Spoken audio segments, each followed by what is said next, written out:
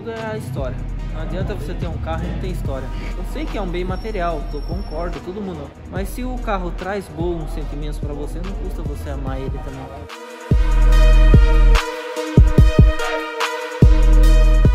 Mano, o cara vai tremer as bases, vai chorar. Pra quem viu, quem acompanhou o jeito que era, meu, show de bola, sem palavras.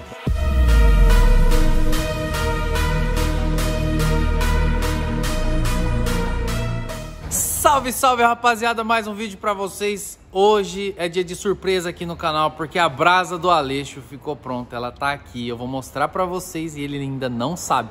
Nós vamos fazer uma entrega surpresa pra ele. Vamos dar uma olhadinha como é que tá o carro? Aí, rapaziada. Rapaz, tem nego que vai tremer as pernas hoje. Chega pra cá, Jonathan. Tudo, Tudo bem? Só alegria? Muito serviço, né, cara? Bastante. Nossa, nem me fala. Vamos atualizar pra galera? Vamos, vamos atualizar. Aqui, para quem não acompanhou os outros vídeos, eu vou deixar no card aqui em cima. Esse carro foi sapecado de lateral e nosso amigo Aleixo ficou muito comovido. Vamos dizer até que desistiu de alguns objetivos que ele tinha por causa desse incidente.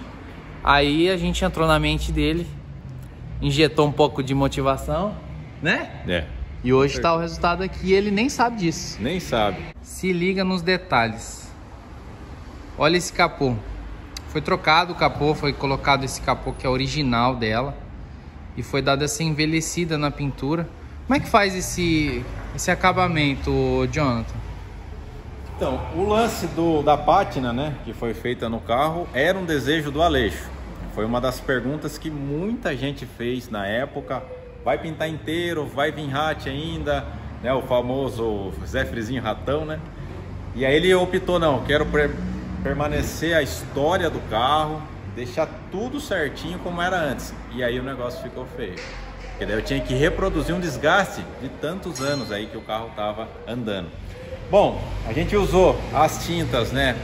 Todas foram duas etapas de cor, um cinza e um branco, branco Lotus, né? Para que o cinza?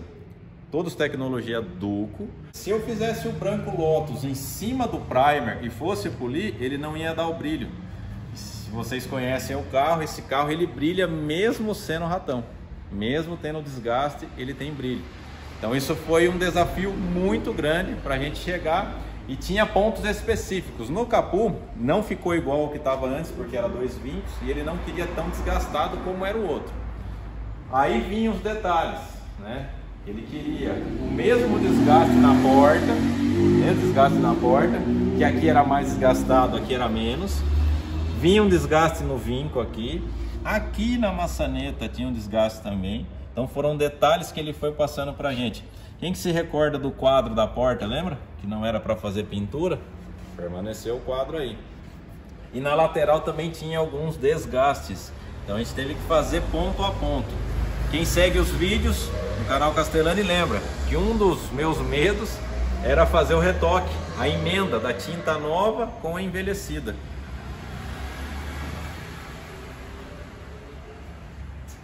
Esses detalhes, né, que é de época, segundo o Aleixo, isso aqui é de fechar a tampa, né? A galera vinha para fechar a tampa e pá, e aí acabava o ácido úrico corroendo. E aí você vem desse lado e começa a ver os detalhes, né? Tem o podre, foi perguntado também aquele dia, vai tirar o podre ou não vai? Ele deixou bem claro, faz parte da história do carro. e aí veio acertando, espero que ele goste. Realização, né, meu? Porque pra quem acompanhou o vídeo do dia da casa dele, você lembra desse vídeo? Você lembra como é que ele tava pensando? Aliás, não foi só ele, né? O próprio Castellani também sentiu a pressão. Ele começa o vídeo falando: Meu, deu uma zedada aqui monstra. Porque a gente entende o que vale o carro para ele. O sentimento que ele tem pelo carro, a história, a galera que curte junto com ele o carro, por que, que ele comprou o carro. Tem um vídeo, né, da, do raço da Brasília Verde, que ele já teve sete, tá escrito lá no canal Castellani. O Aleixo comprou por causa dessa Brasília e uma outra Brasília do nosso cúmplice que está indo com ele fazer o vlog agora, que era uma Brasília Ocre Marajó, também ratinho, e ele fala, fala, meu, comprei essa brasa para andar com os caras. E aí quando deu o acidente, aí borregou geral, né? O cara ficou bem chateado. bem triste. Eu sei que de primeiro momento eu acho que a reação dele não vai ser tão emotiva, porque ele é meio lento. Quem conhece o Aleixo sabe que ele é meio lento, né? Ele...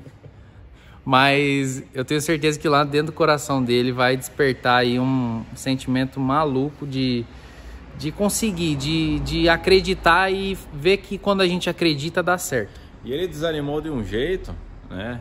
Que ele não queria mais gravar vídeo, ele queria parar o canal, ele, meu, vou abandonar, não quero mais.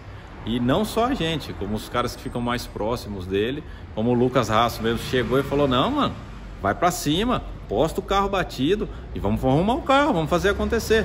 Então tudo isso ajudou muito, cara. Então é aquele momento, né?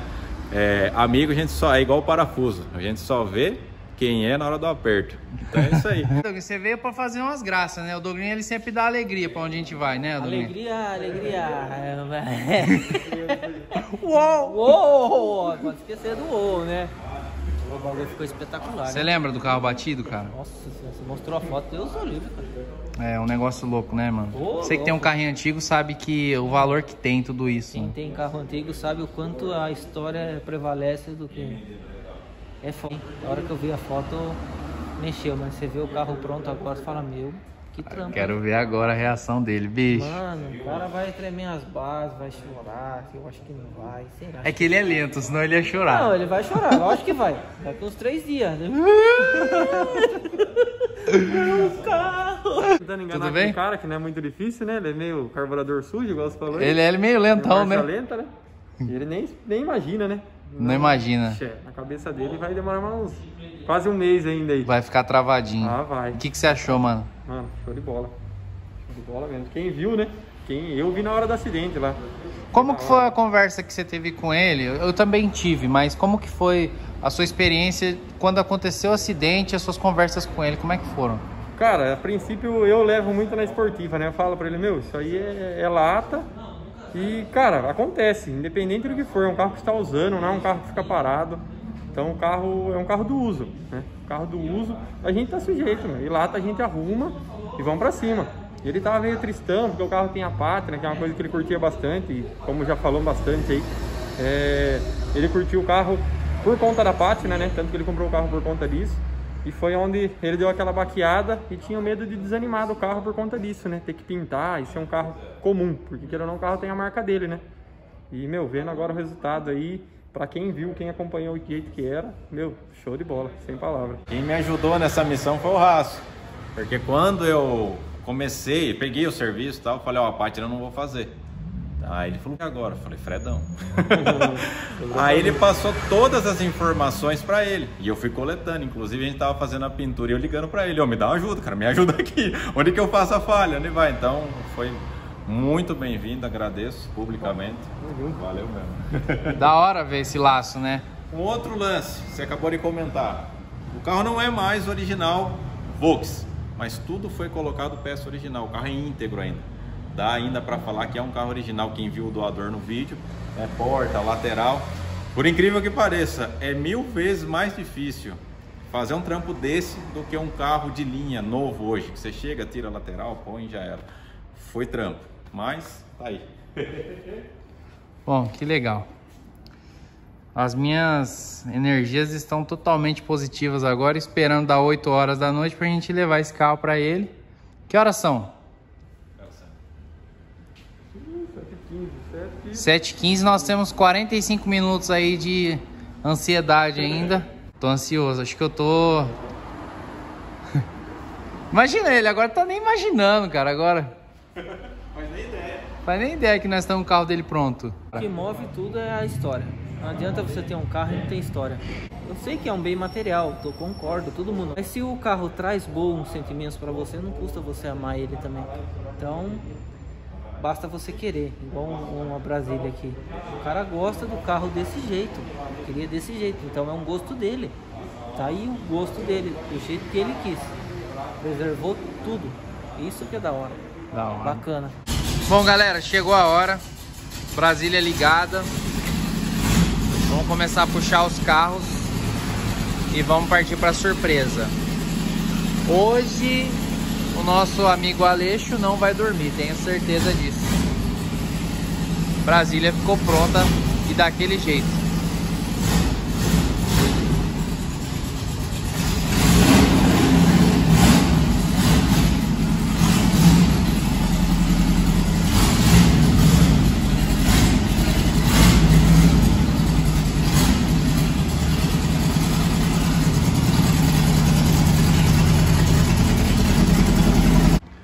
Bom, Brasília no jeito. Chevetinho também vai. Chevetinho do Jonathan, top. Fusqueta vai também, azeitoninha. E a passateira. Vamos partir para fazer essa entrega. Esse vídeo vai ficando por aqui. E a entrega vocês já acompanham no próximo. Então já se inscreve, deixa o like e eu aguardo. Para entrega dessa brasa. Tamo junto.